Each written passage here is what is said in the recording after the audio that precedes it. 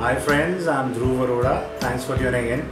You know, after you finish your mission using an Ardu plane or an Ardu copter, you need to geotag your images using the log files from the APM or the Pixhawk. So you can do that using your mission planner and this is what exactly I'm going to tell you today.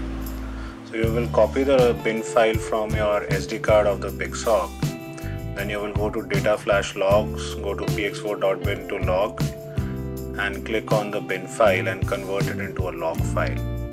So you will press Ctrl F on your mission planner, go to georeference images, browse the log file which you just uh, made from your .bin file. Browse the images, go to time offset and you're going to estimate the offset.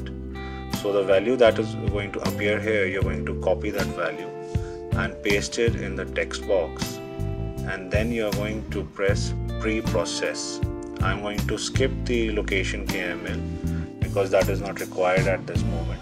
I'm going to press geotag images.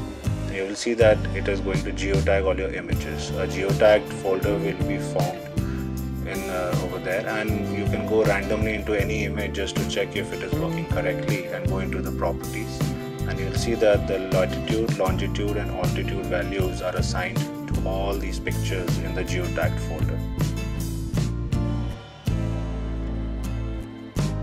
And now you can use these geotagged images for post processing i hope this really helps you guys. Take care. Happy flying